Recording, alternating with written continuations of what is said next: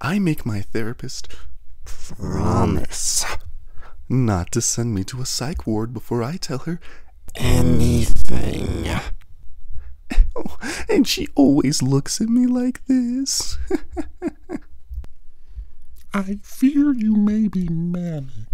What the fuck did you just say to me? Please get out of my office.